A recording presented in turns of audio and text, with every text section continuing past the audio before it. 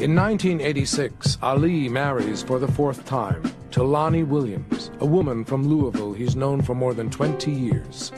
Muhammad and I are best friends. We're husband and wife, and he's, he's also like my brother. So it's an unusual combination. I, I used to babysit her. You really did? Yes. Yeah. I always say I mother him because I have a very strong motherly instinct. But it- it's, it's, I do take care of him in a way that I think a wife should take care of her husband. I think that is proper. But um, Muhammad is my baby. I'm a healthy 34 year old woman, and I can't keep up with this man.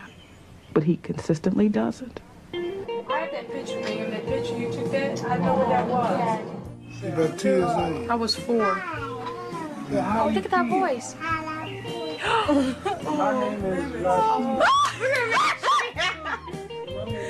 at Mimi. I was so shy. What people don't know about Muhammad is Muhammad's very healthy. He may not be Muhammad that they knew 15 years ago, but Muhammad's very healthy.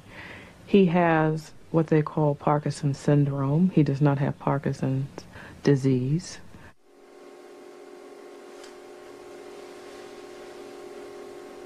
Muhammad really is very easy to live with by himself. He, he's quiet. Most of the time he gets up early at, at 5 to pray and he starts reading the Quran, or he may go downstairs and sign Islamic literature to pass out, pre-sign it as he says. Ali's story reads like a biblical tale of a prophet who came from humble beginnings and went on to unite the world by becoming the most famous man in it. His life is a tribute to all of us, to the possibility inherent in humanity, to the importance of standing for something, fighting for your beliefs, and to the triumph of courage over fear.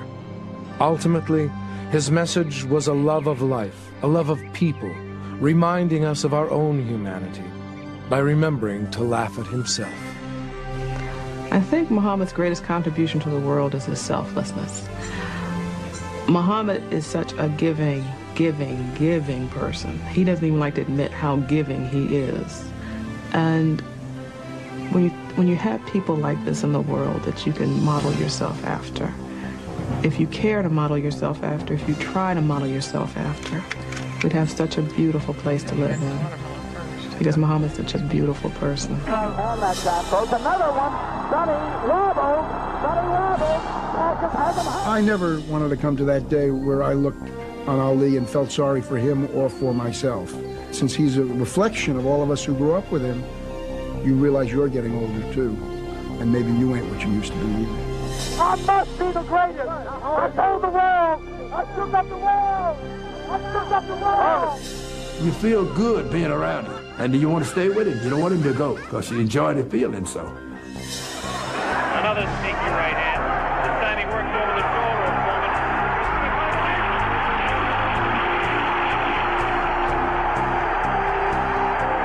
Foreman. He was a remarkable person in the society. Who else could have gravitated from the White House to Buckingham Palace to the Kremlin?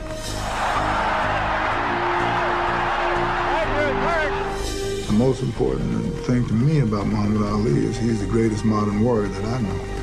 He's the greatest warrior of my time. 34 year old woman, and I can't keep up with this man. But he consistently does it. I have that picture, ma'am. That picture you took that. I know what that was. She about two years old. I was four. Oh, look at that voice.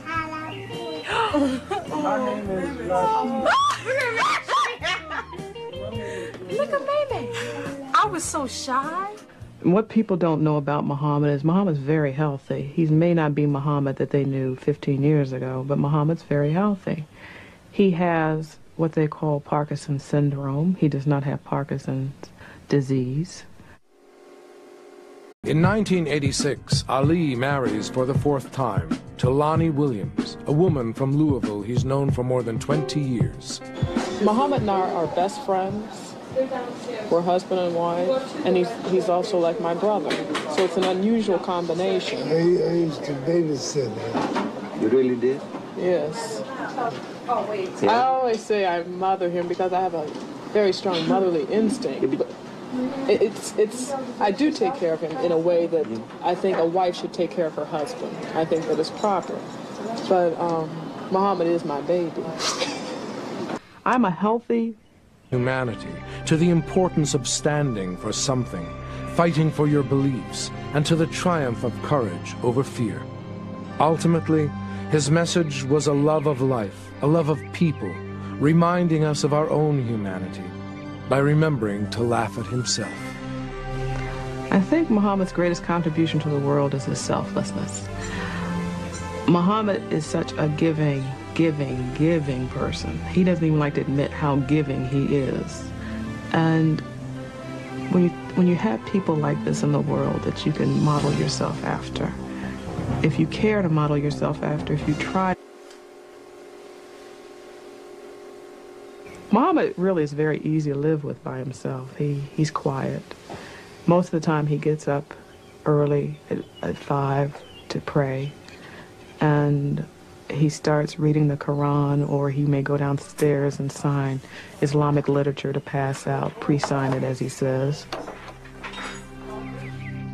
Ali's story reads like a biblical tale of a prophet who came from humble beginnings and went on to unite the world by becoming the most famous man in it.